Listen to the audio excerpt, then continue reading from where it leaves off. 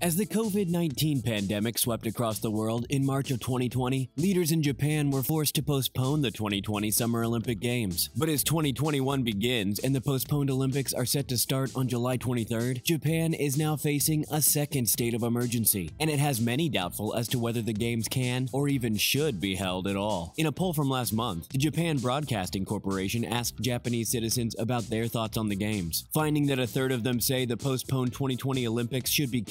and sentiment of residents on the streets seem to be in line with those results, with one saying, quote, It seems the government is trying to hold it, but the coronavirus infections haven't been contained, and the situation around the world is getting worse. Adding that even if Japan sorts out and contains the virus, which it still has not done, the rest of the world may not, meaning global citizens wouldn't be able to attend anyways, with others simply calling it, quote, impossible. This all comes as the Olympic Torch Relay, the 121 day ceremony culminating in the lighting of the Olympic torch, is set to start on March 25th in just two and a half months.